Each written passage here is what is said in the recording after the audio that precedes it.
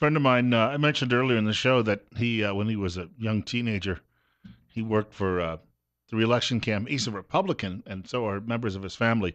But they used to work for the election campaigns of Frank Rizzo, who was a Democrat, a one-time police chief, and later mayor of uh, Philadelphia, Pennsylvania. And uh, he just sent me some more links to what's going on in that city where the police officers who work there and they are being charged with keeping order, as were police in Cleveland, Ohio. And frankly, I think that police in Cleveland, well, tip of the hat to them because all those worries about rioting and violence and everything else, it was pretty tame when, when you look at what happened there over the last several days.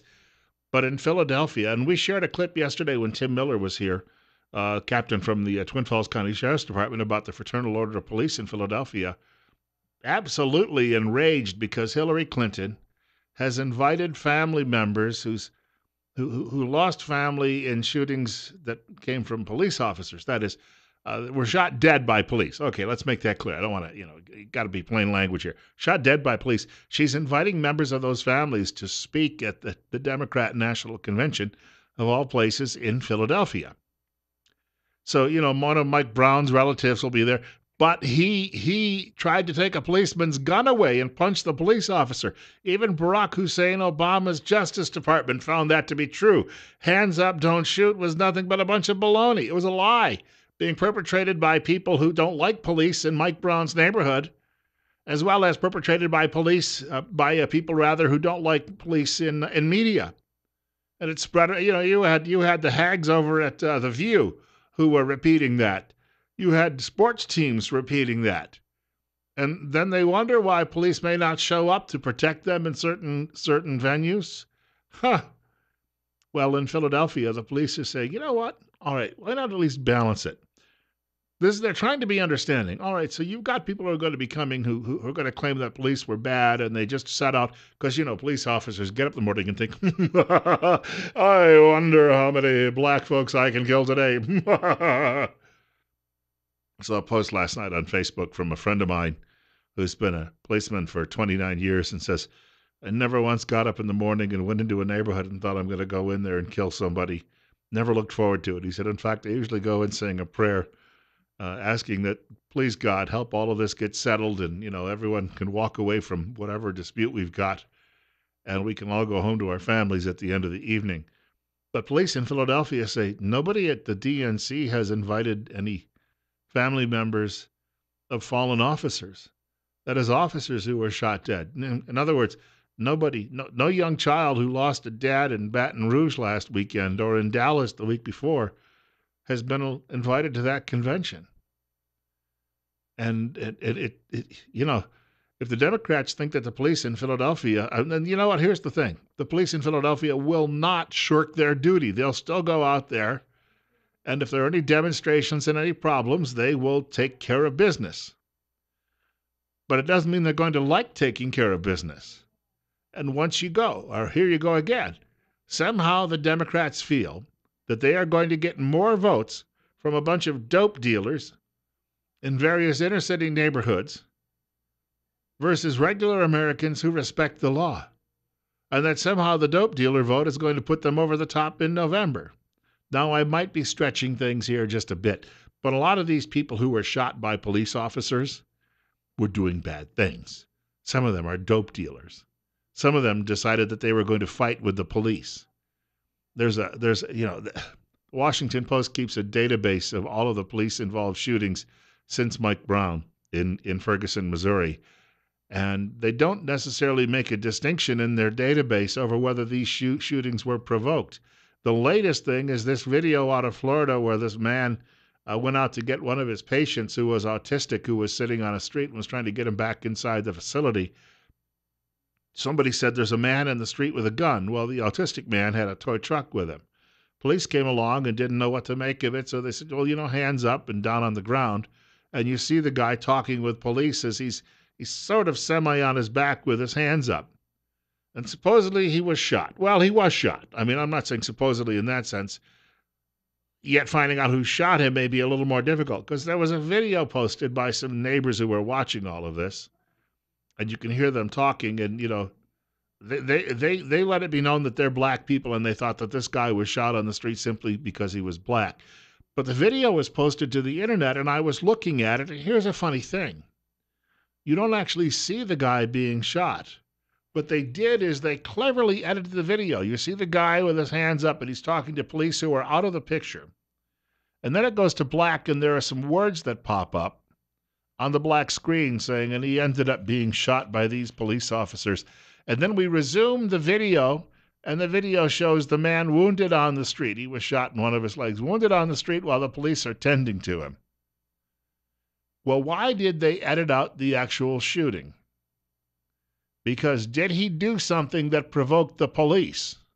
Well, we don't know because that part of the video is not making air. Huh. Well, if we could see the whole video, perhaps it would shed a different light on this story now, wouldn't it? Well, that's why we're not seeing the whole video.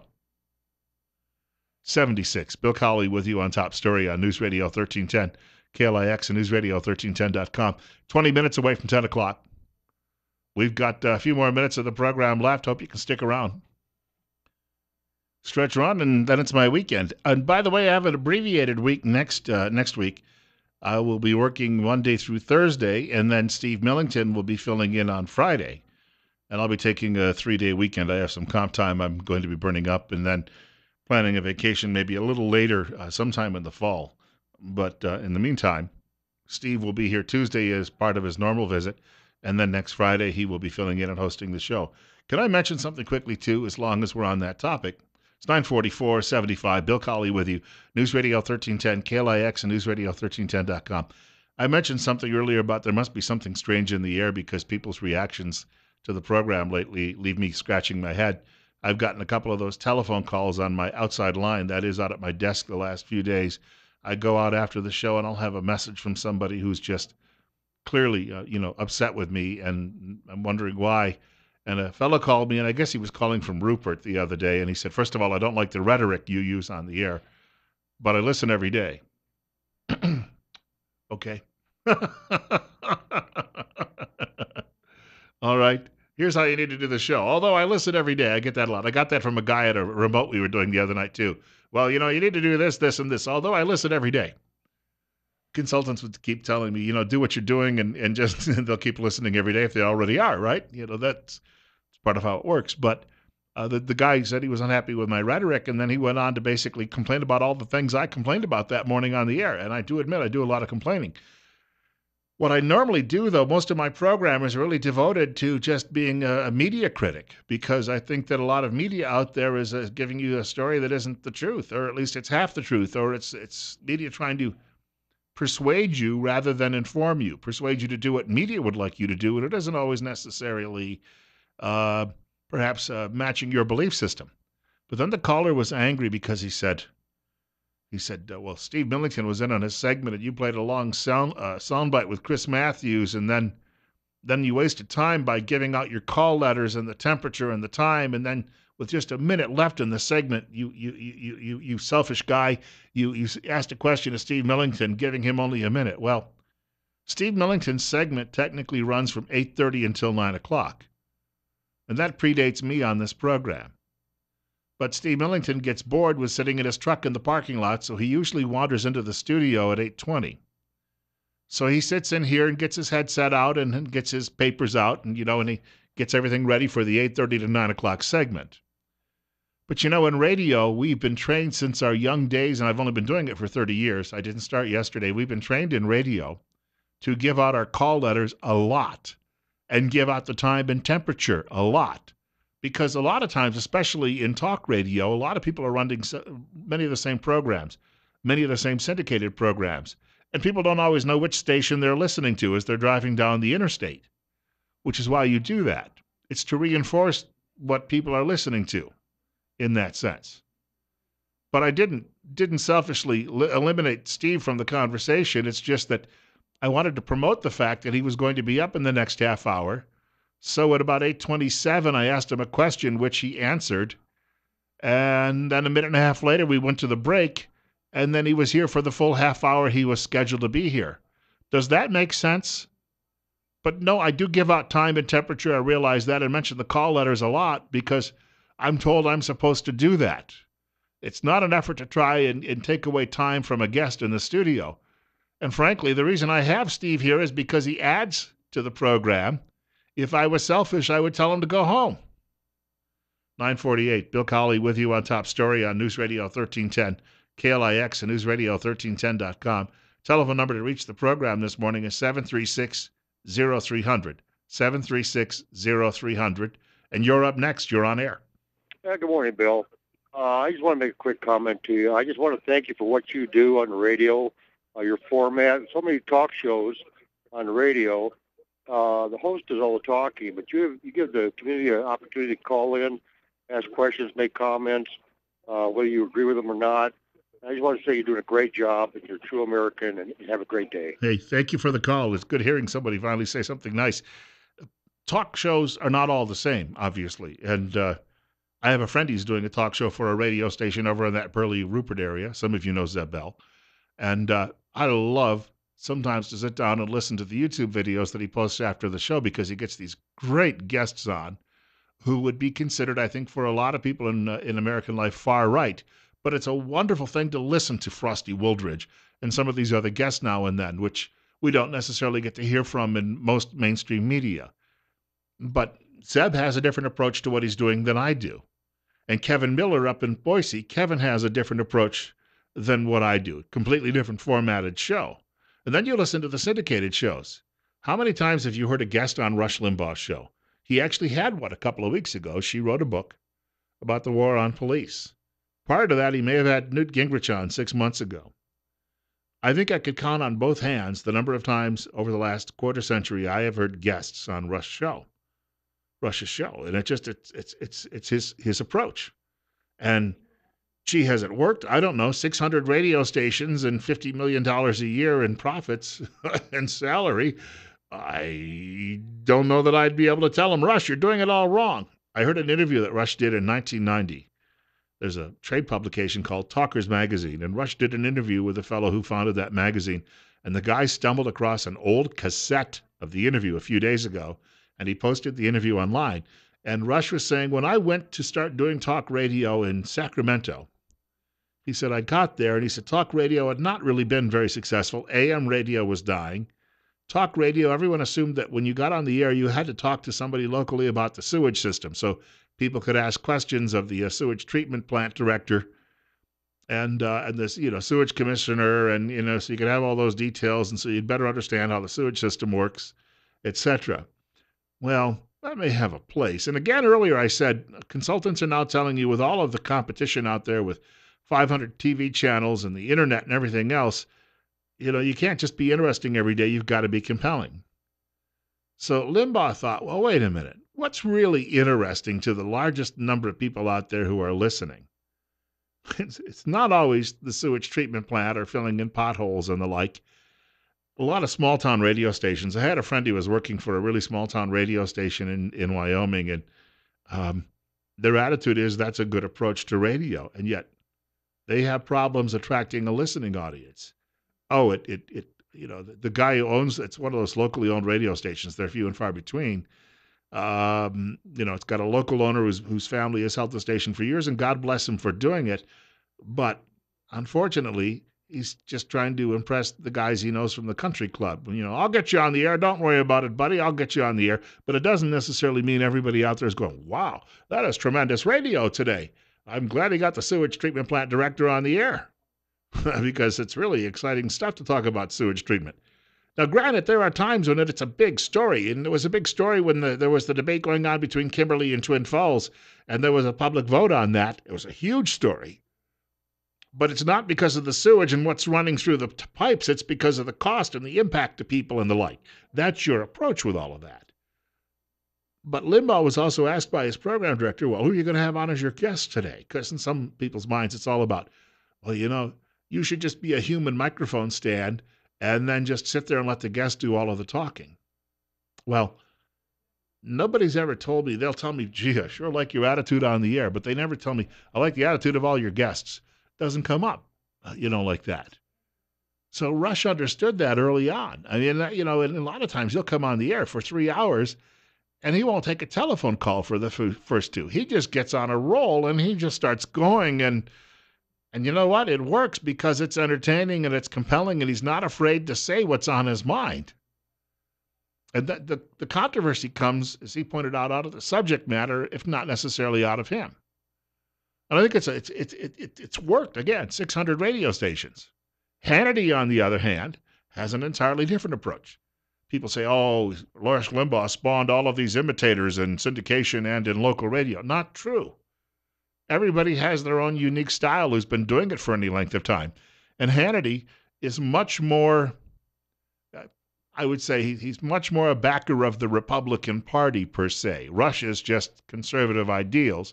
Hannity makes mention of, well, I'm a member of the New York State Conservative Party and not the Republican Party any longer. But Sean is, he doesn't criticize a lot of Republicans you know, in that sense, because Sean believes, well, it's still a better option than what we have with the alternatives out there. And he has a lot more guests. And Beck, I mean, Beck is a combination of not just talk show host, but preacher. And, and, and Beck is this guy who wears his emotions on his sleeves, and you can hear that in his show. So there's these multiple different approaches to it. And mine just happens to be mainly a focus on on taking a look at media, showing you what media is all about, and whether they know it or not, pointing out the biases that are frequently there. Because if we can start breaking away, I know a lot of people who watched Ted Cruz the other night, and I heard their immediate responses. And I'm not telling you which which way they were talking or anything like this, but then a day later, their responses in many cases all seemed to be different because it was their reaction to media and all of a sudden media is reporting on it skewed, whether it be conservative media or mainstream media. And that's my point. You you got to make up your own mind. I watch a lot of TV news and I read a lot of news on the internet and in newspapers. And people give me a hard time sometimes on my Facebook page because I'll post a story. I'm voting for Donald Trump. Everyone's aware of that. I don't think anyone can be confused about it. But uh, Daniel Pipes, who wrote a story yesterday for Middle East Watch, saying he would not be voting for Trump. He did say, I'm not voting for Hillary Clinton either. I posted that. Well, immediately, you know, hey, Billy boy, you better get with the program. What's the matter? You're no longer on the Trump bandwagon? Why? Because you don't agree with this guy? I post it there because I think it's worthwhile to hear that point of view. And I post a lot of stuff from the New York Times and the Washington Post as well, and I don't necessarily agree with it. I think a lot of it I post I post to show people how foolish it is. But I guess I'm supposed to put a comment there, you know, saying, "Did you see what this no good person said?" Uh, every time I post something like that.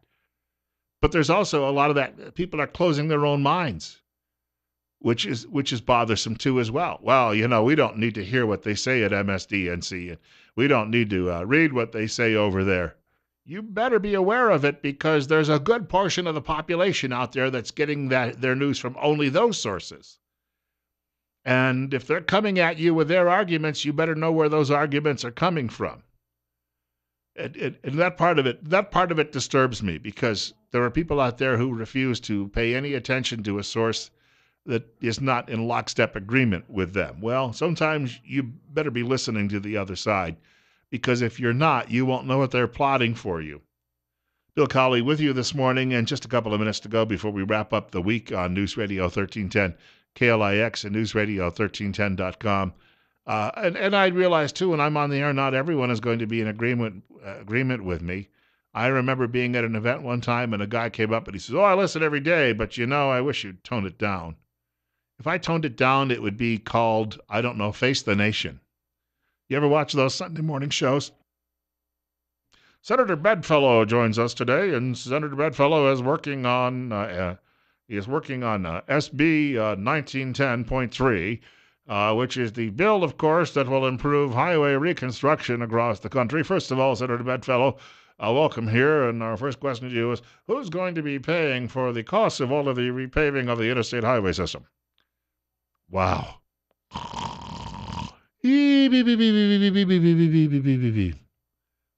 That's not what we're trying to do on the radio. We're trying to compel you to get up off your duff or to react or to call the show or to uh, you know to get you inflamed or whatever it can be That's the whole point of it. And I know that the liberals out there don't like it and they complain and bitterly and call my bosses and say, You need to fire him because he says stuff that I don't agree with. Well, so what?